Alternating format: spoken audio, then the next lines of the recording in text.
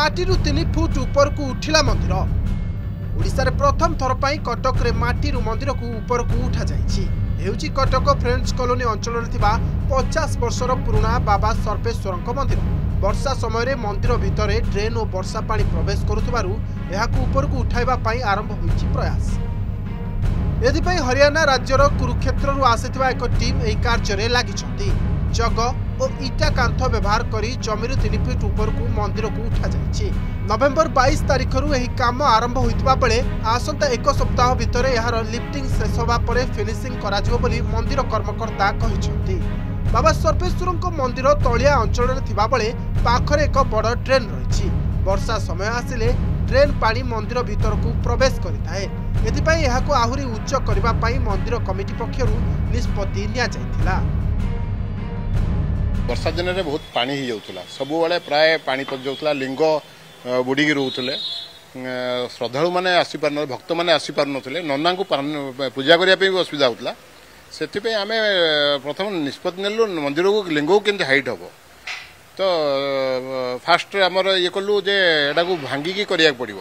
ତାପରେ ଆମେ କହିଲୁ ଚିନ୍ତା କଲୁ ନ ଭାଙ୍ଗିକି ଯଦି ଘର ଲିଫ୍ଟିଂ ହେଇପାରୁଛି ମନ୍ଦିର କାହିଁ ହେଇପାରିବନି? ଆମର ଭାରତର ନାମକରା ଏଜେନ୍ସି ଯେଉଁ ଶ୍ରୀରାମ ଲିଫ୍ଟିଂ ଏଜେନ୍ସି କୁରୁକ୍ଷେତ୍ରରେ ଅଛି ତା ସହିତ ଆମେ ଯୋଗାଯୋଗ କଲୁ।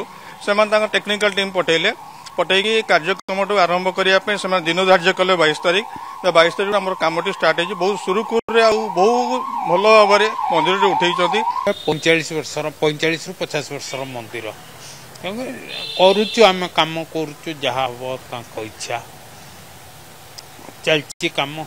ହରିୟାଣା ରାଜ୍ୟର କୁରୁକ୍ଷେତ୍ରରେ ଥିବା ଶ୍ରୀରାମ ହାଉସ୍ ଲିଫ୍ଟିଂ ବିଲ୍ଡିଂ ନାମକ ସଂସ୍ଥା ଏହି କାର୍ଯ୍ୟ ସମଗ୍ର ଦେଶରେ କରୁଛି। ଘର ମାଲିକଙ୍କ ଆବଶ୍ୟକତା ଅନୁସାରେ କାରିଗରଙ୍କୁ ନିୟୋଜିତ କରାଯାଇ ଧାର୍ଯ୍ୟ ସମୟ ଭିତରେ କାମ କରାଯାଇଥାଏ। ଏହି ସଂସ୍ଥାରେ ଅଧିକାଂଶ କାରିଗର ବିହାର ରାଜ୍ୟରୁ ଆସିଛନ୍ତି। ଘର କିମ୍ବା ଏଭଳି ମନ୍ଦିରକୁ ଜମିରୁ ଆହୁରି ଉଚ୍ଚ କରିବା ପାଇଁ ଏହି ସଂସ୍ଥା ଅଭିଜ୍ଞ କାରିଗରକୁ ନେଇ କାର୍ଯ୍ୟ କରେ। ଥରେ ଘର ଉଚ୍ଚ ହେଲେ ତାହା ଆହୁରି ମଜବୁତ ହୋଇଯାଏ ବୋଲି କାରିଗର କହନ୍ତି। हम आए बिहार से। हरियाणा ठेकेदार है। काम करते हैं यहाँ पे। में आप इस्तेमाल करते हैं? जग से उठाते हैं बिल्डिंग और इसको हाइट करते हैं। जितना घर वाला बोलता है वो हाइट करने के लिए उतना हाइट करते हैं। और नीचे से इसको पहले वाल को कटिंग करते हैं। उसके बाद एक एक करके जक लगाते जाते हैं। और उसके बाद जो है इसके इसके ऊपर चैनल सेट करते हैं, जिसके बीम नहीं रहता है तो चैनल सेट करते हैं, उसके बाद जक लगा करके और उसके बाद हाइट करते हैं। तो राज्य विभिन्न अंचल एभली टेक्नोलोजीर व्यवहार कर लोके घर उठाऊ बेले प्रथम थर पर मंदिर को जमीर तीन फुट उच्च उपरकू उठा जा मंदिर कर्मकर्ता कटक भिड journalist Gautam Mohanty Imran Khan report, Argus news.